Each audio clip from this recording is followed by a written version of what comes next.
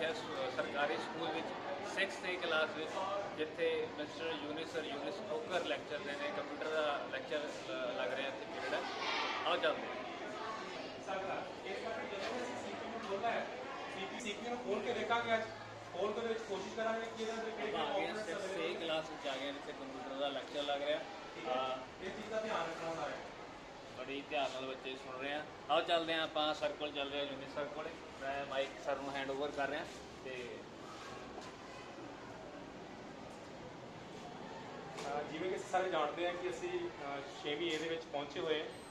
ਮੇਰਾ ਲੈਕਚਰ ਚੱਲ ਰਿਹਾ ਸਾਡਾ 6ਵਾਂ ਚੈਪਟਰ ਚੱਲ ਰਿਹਾ computer hardware and software so ਬੱਚਿਆਂ ਨੂੰ ਹੋਰ ਜ਼ਿਆਦਾ ਪ੍ਰੈਕਟੀਕਲ ਨੌਲੇਜ ਦੇਣ ਦੇ ਲਈ ਅਸੀਂ CPU ਨੂੰ ਕਲਾਸ ਵਿੱਚ ਲੈ ਕੇ ਆਏ ਹਾਂ ਤੇ ਕੋਸ਼ਿਸ਼ ਕਰ ਰਹੇ ਹਾਂ ਕਿ ਜਿਹੜਾ CPU ਬੱਚਿਆਂ ਨੂੰ ਖੋਲ ਕੇ ਦਿਖਾਇਆ ਜਾਏ ਕਿ ਇਹਦੇ ਅੰਦਰ ਕਿਹੜੇ ਕਿਹੜੇ ਜਿਹੜੇ ਕੰਪੋਨੈਂਟਸ ਨੇ, ਅਸੀਂ ਉਹਨਾਂ ਨੂੰ ਇੱਕ ਵਾਰੀ ਦੇਖਾਂਗੇ ਸਾਰੇ।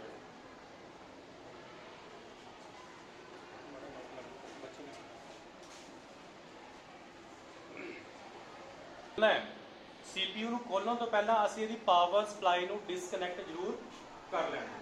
ਠੀਕ ਹੈ? ਮੈਂ ਤੁਹਾਨੂੰ ਇਹ ਰეკਮੈਂਡ ਨਹੀਂ ਕਰਾਂਗਾ ਕਿ ਜੇਕਰ ਤੁਸੀਂ CPU ਨੂੰ ਖੋਲਣਾ ਹੋਵੇ ਤੇ ਖੋਲਣ ਤੋਂ ਪਹਿਲਾਂ ਸਪਲਾਈ ਜਿਹੜੀ ਉਹ ਡਿਸਕਨੈਕਟਡ ਹੋਣੀ ਚਾਹੀਦੀ ਹੈ।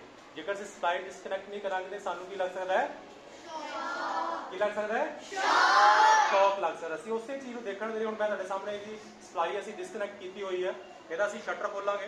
ਸ਼ਟਰ ਖੋਲ ਕੇ ਅਸੀਂ ਦੇਖਦੇ ਹਾਂ ਇਹਦੇ ਅੰਦਰ ਹੈ ਕੀ ਹੈ। ਪਹਿਲਾਂ ਮੈਂ, ਇਹ ਖੋਲਣ ਤੋਂ ਪਹਿਲਾਂ ਅਸੀਂ ਸਾਹਮਣੇ ਪਾਸੇ ਦੇਖ ਲਈਏ। ਇਹਦੇ ਜਿਹੜਾ ਫਰੰਟ ਲੁੱਕ ਹੈ ਇਹਦੇ ਤੇ ਬੇਸਿਕਲੀ ਦੋ ਬਟਨ ਹੁੰਦੇ ਨੇ। ਠੀਕ ਹੈ, ਇੱਕ ਪਾਵਰ ਬਟਨ ਹੁੰਦਾ ਹੈ ਇੱਕ ਰੀਸੈਟ ਬਟਨ ਹੁੰਦਾ। ਹੈ ਠੀਕ ਹੈ, ਇਸ ਤੋਂ ਇਲਾਵਾ ਸਾਡੇ ਕੋਲ ਡਰਾਈਵ ਹੋ ਸਕਦੀ ਹੈ ਫਲੋਪੀ ਡਰਾਈਵ ਹੋ ਸਕਦੀ ਹੈ ਸੀਡੀ ਰੋਮ ਹੋ ਸਕਦਾ ਹੈ। ਇਹਨਾਂ ਵਿੱਚੋਂ ਇਹ ਜਿਹੜੇ ਸਾਰੇ ਸਾਡੀਆਂ ਫਰੰਟ ਲੁੱਕ ਤੇ ਜਿਹੜੀਆਂ ਸਾਡੇ ਨਜ਼ਰ ਆਉਂਦੀਆਂ ਨੇ।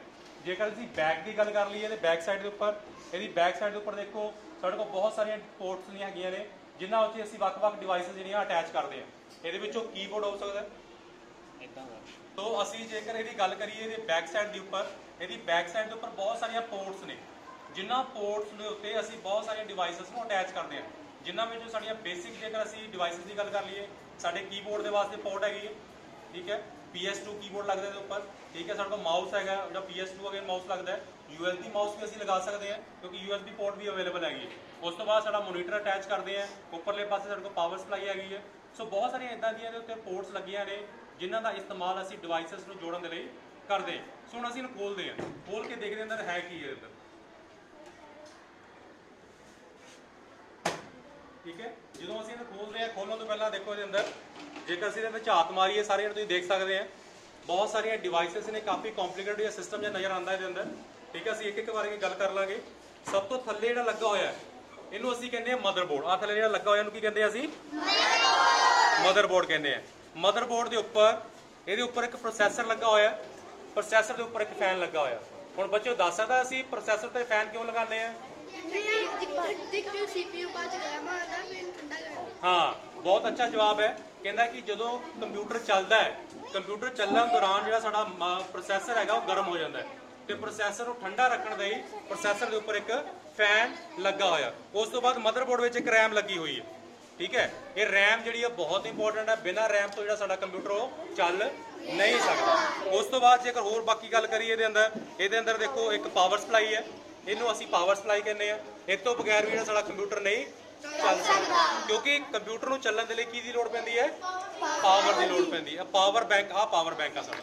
ਜਿਹਦੇ ਵਿੱਚ ਸਾਰੀ ਜਿਹੜੀ ਸਪਲਾਈ ਹੈ ਸਾਡੀ ਕੰਪਿਊਟਰ ਨੂੰ ਜਿਹੜੀ ਪਾਸ ਆਨ ਹੁੰਦੀ ਹੈ। ਉਸ ਤੋਂ ਇਲਾਵਾ ਸਾਡੀਆਂ ਸੀਰੀਅਲ ਬੱਸਾਂ ਨੇ, ਜਿਹਦੇ ਨਾਲ ਜਿਹੜਾ ਤੁਹਾਡਾ ਡਾਟਾ ਜਿਹੜਾ ਟ੍ਰਾਂਸਫਰ ਹੁੰਦਾ ਤੁਹਾਨੂੰ ਮਦਰਬੋਰਡ ਠੀਕ ਹੈ? ਉਸ ਤੋਂ ਬਾਅਦ ਸਾਡੇ ਕੋਲ ਡਰਾਈਵ ਹੈਗੀ ਇਹਦੇ ਅੰਦਰ।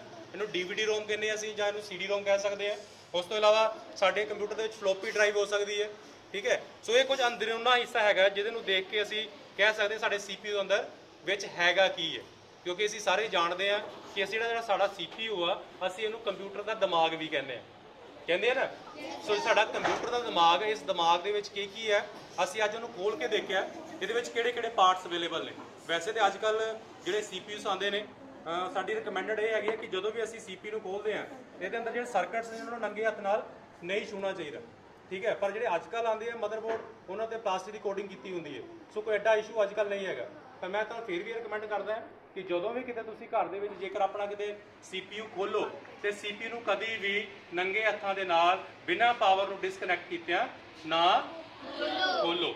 ਜੇ ਕਿਤੇ ਖੋਲਣਾ ਪੈਂਦਾ ਤਾਂ ਹਮੇਸ਼ਾ ਆਪਣੇ ਪੇਰੈਂਟਸ ਦੀ ਗਾਈਡੈਂਸ ਦੇ ਵਿੱਚ ਖੋਲਣਾ ਹੈ, ਕਿਉਂਕਿ ਤੁਹਾਡੀ ਕਲਾਸ ਬਹੁਤ ਛੋਟੀ ਹੈ। ਠੀਕ ਹੈ? ਤੁਸੀਂ ਅਜੇ ਇਸ ਸਮਰੱਥ ਨਹੀਂ ਹੈਗੇ ਕਿ ਤੁਸੀਂ CPU ਨੂੰ ਆਪਣੇ ਇਕੱਲੇ ਲੈਵਲ ਤੇ ਖੋਲ ਸਕੋ। ਇਸ ਕਰਕੇ ਜਦੋਂ ਵੀ ਅਸੀਂ ਕਿਤੇ CPU ਨੂੰ ਖੋਲਦੇ ਆ ਜੇਕਰ ਤੁਹਾਨੂੰ ਬਕਾਇਦਾ ਲੋਡ ਪਵੇ ਕਿ ਕਦੀ ਖੋਲਣਾ ਪੈਂਦਾ ਹੈ, ਤਾਂ ਅਸੀਂ ਖੋਲ ਕੇ ਦੇਖ ਸਕਦੇ ਹਾਂ ਤੇ ਖੋਲ ਕੇ ਅਸੀਂ ਉਹਦੇ ਅੰਦਰ ਕਿਹੜੇ ਕਿਹੜੇ ਪਾਰਟਸ ਨੇ ਉਹਦੇ ਬਾਰੇ ਅੱਜ ਰਿਵਾਈਜ਼ ਕੀਤਾ ਹੈ। ਸੋ ਮੇਨ ਚੀਜ਼ਾਂ ਜੇਕਰ ਅਸੀਂ ਗੱਲ ਕਰੀਏ, ਸਾਡੇ ਕੰਪਿਊਟਰ ਵਿੱਚ ਕੀ ਇੱਕ ਮਦਰਬੋਰਡ ਹੈ, ਇੱਕ RAM ਹੈ, ਇੱਕ ਪ੍ਰੋਸੈਸਰ ਹੈ, ਇੱਕ ਉਹਦੇ ਉੱਪਰ ਲੱਗਾ ਫੈਨ ਹੈ ਪਾਵਰ ਸਪਲਾਈ ਹੈ DVD ਰੋਮ ਹੈਗਾ ਤੇ ਫਲੋਪੀ ਡਰਾਈਵ ਹੈਗੀ ਹੈ। ਠੀਕ ਹੈ ਤੇ ਬਾਹਰਲੇ ਪਾਸੇ ਅਸੀਂ ਬਟਨਾਂ ਦੀ ਗੱਲ ਕੀਤੀ ਸੀਗੀ। ਬਾਹਰਲੇ ਪਾਸੇ ਕੋ ਪਾਵਰ ਬਟਨ ਤੇ ਰੀਸੈਟ ਬਟਨ ਹੈ। On the back side we have got so many ports ਇਹਨਾਂ ਪੋਰਟ ਦੇ ਵਿੱਚ ਅਸੀਂ ਜਿਹੜੀਆਂ ਨੇ ਆਪਣੀਆਂ ਡਿਵਾਈਸਸ ਨੂੰ ਅਟੈਚ ਕਰਦੇ ਹਾਂ। ਥੈਂਕ ਯੂ ਸਰ ਹਾਂਜੀ। ਬੱਚੋ ਕਿੰਨਾ ਲੱਗਿਆ ਫਿਰ? ਵਧੀਆ। ਬਹੁਤ ਹੀ ਬਹੁਤ ਹੀ ਸਰਲ ਤੇ ਬਹੁਤ ਹੀ ਸੁਚੱਜੇ ਢੰਗ ਨਾਲ ਸਰ ਨੇ ਐਕਸਪਲੇਨ ਕੀਤਾ। ਸੋ ਇਹ ਸੀ ਅੱਜ ਦਾ 6th ਏ ਕਲਾਸ ਵਿੱਚ ਕੰਪਿਊਟਰ ਦਾ ਲੈਕਚਰ ਫਿਰ ਮਿਲਾਂਗੇ ਨਵੀਂ ਜਾਣਕਾਰੀ ਦੇ ਨਾਲ। ਮੈਨੂੰ ਦਿਓ ਇਜਾਜ਼ਤ ਕੈਮਰਾਮੈਨ ਜਸਕਰਨ ਦੇ ਨਾਲ। ਧੰਨਵਾਦ। ਆਓ ਤੁਹਾਨੂੰ ਲੈ ਚੱਲਦੇ ਹਾਂ ਹੁਣ ਹੋਰ ਟੀਚਰਸ ਕੋਲ ਜੋ ਤੁਹਾਨੂੰ ਆਪਣੇ ਵਿਚਾਰ ਸਾਂਝੇ ਕਰਨਗੇ ਇਸ ਪੀਟੀਐਮ ਬਾਰੇ। ਭਾਰਤੀ ਮੈਮ ਪ੍ਰਿਯੰਕਾ। ਮੈਮ ਤੁਹਾਡਾ ਸਬਜੈਕਟ ਕੀ ਹੈ? ਸਰ ਮੈਂ ਕੰਪਿਊਟਰ ਮਤਲਬ ਪੜ੍ਹਾਉਂਦੀ ਹਾਂ ਸਕੂਲ ਦੇ ਵਿੱਚ government senior secondary smart school ਦੇ ਵਿੱਚ ਔਰ ਪ੍ਰਿਯੰਕਾ ਮੈਮ ਮੈਂ ਇੰਗਲਿਸ਼ ਪੜ੍ਹਾਉਂਦੀ ਹਾਂ ਸਕੂਲ ਦੇ ਵਿੱਚ ਤੁਹਾਡੇ ਕੀ ਵਿਊਜ਼ ਨੇ ਮੈਮ ਇਸ ਪੀਟੀਐਮ ਨੂੰ ਲੈ ਕੇ? ਸਰ ਪੇਰੈਂਟਸ ਟੀਚਰ ਮੀਟਿੰਗ ਮਤਲਬ ਕਿ ਹਰ ਸਕੂਲ ਦੇ ਵਿੱਚ ਹੁੰਦੀ ਹੈ ਔਰ ਇਹ ਬਹੁਤ ਜ਼ਰੂਰੀ ਹੈ। ਜਿਹਦੇ ਨਾਲ ਕਿ ਪੇਰੈਂਟਸ ਨੂੰ ਆਪਣੇ ਬੱਚਿਆਂ ਦੀ ਪਰਫਾਰਮੈਂਸ ਦੇ ਬਾਰੇ ਪਤਾ ਚੱਲਦਾ ਹੈ ਤੇ ਬੱਚਿਆਂ ਨੂੰ ਇਹ ਵੀ ਪਤਾ ਚੱਲਦਾ ਹੈ ਕਿ ਉਹ ਕਲਾਸ ਦੇ ਵਿੱਚ ਕੀ ਪਰਫਾਰਮ ਕਰ ਰਹੇ ਹੈ। ਤੇ ਪੇਰੈਂਟਸ ਨੂੰ ਮੇਰੇ ਅਕੋਰਡਿੰਗ ਇਹ ਜ਼ਰੂਰ ਅਟੈਂਡ ਕਰਨੀ ਚਾਹੀਦੀ ਹੈ ਤਾਂ ਕਿ ਉਹਨਾਂ ਨੂੰ ਵੀ ਇਹ ਪਤਾ ਚੱਲੇ ਕਿ ਉਹਨਾਂ ਦੇ ਬੱਚੇ ਜੇ ਸਕੂਲ ਜਾ ਰਹੇ ਹੈ ਤੇ ਉਹ ਇੱਥੇ ਕੀ ਕਰ ਰਹੇ ਨੇ। ਸਾਰਿਆਂ ਦਾ ਇਹੀ ਵਿਊ ਇਹੀ ਕਹਿਣਾ ਹੈ ਕਿ ਅਟੈਂਡ ਕਰਨੀ ਚਾਹੀਦੀ ਹੈ ਜ਼ਰੂਰ ਆਉਣ ਸਾਰੇ ਅਟੈਂਡ ਕਰਨ।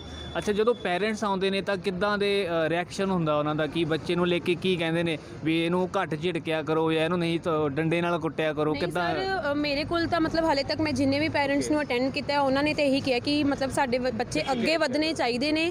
ਉਹਨਾਂ ਦੇ ਉੱਤੇ ਮਤਲਬ ਸਾਨੂੰ ਉਹਨਾਂ ਨੂੰ ਕੋਈ ਪ੍ਰੋਬਲਮ ਨਹੀਂ ਹੈ ਕਿ ਅਗਰ ਟੀਚਰਸ ਉਹਨਾਂ ਨੂੰ ਕੁਝ ਕਹਿੰਦੇ ਵੀ ਹੈ ਕਿਉਂਕਿ ਦੇਖੋ ਅਸੀਂ ਉਹਨਾਂ ਦੇ ਭਲੇ ਵਾਸਤੇ ਹੀ ਉਹਨਾਂ ਨੂੰ ਡਾਂਟ ਰਹੇ ਹਾਂ ਅਗਰ ਉਹਨਾਂ ਨੂੰ ਡਾਂਟ ਰਹੇ ਹਾਂ। ਤੇ ਮਤਲਬ ਮੈਨੂੰ ਤਾਂ ਕੋਈ ਵੀ ਪੈਰੈਂਟਸ ਇਹ ਨਹੀਂ ਕਹਿ ਕੇ ਗਏ ਕਿ ਸਾਡੇ ਬੱਚੇ ਨੂੰ ਨਾ ਕੁੱਟੋ ਜਾਂ ਕੁਝ ਐਦਾਂ ਮਤਲਬ ਕਿ ਬਟ ਇਹ ਉਹਨਾਂ ਨੂੰ ਇਹੀ ਹੈ ਕਿ ਉਮੀਦਾਂ ਹੀ ਹੈ ਆਪਣੇ ਬੱਚਿਆਂ ਤੋਂ ਕਿ ਅਗਰ ਉਹ ਉਹਨਾਂ ਵਾਸਤੇ ਇੰਨਾ ਕੁਝ ਕਰ ਰਹੇ ਹੈ ਤੇ ਉਹ ਵੀ ਅੱਗੇ ਵਧਣ। ਦੈਟਸ ਇਟ ਸੇਮ ਹੈ ਸੇਮ ਹੈ। ਥੈਂਕ ਯੂ ਬਹੁਤ ਬਹੁਤ ਇਹਦੇ ਬਾਰੇ ਅ, ਉਪਰਾਲਾ ਹੋ ਰਿਹਾ ਹੈ। ਤਾਂ ਸਾਰੇ ਇਹਦਾ ਇਹੀ ਕਹਿਣਾ ਹੈ ਕਿ ਵਿੱਚ ਅ, ਵੱਧ ਚੜ ਕੇ ਇਹ 'ਚ ਹਿੱਸਾ ਲੈਣ। ਆਪਣੇ ਬੱਚਿਆਂ ਦੀ ਜੋ ਪਰਫਾਰਮੈਂਸ ਹੈ ਉਹ ਪੇਰੈਂਟਸ ਨੂੰ ਪਤਾ ਲੱਗੇ ਵੀ ਕੀ ਕਰ ਰਹੇ ਨੇ।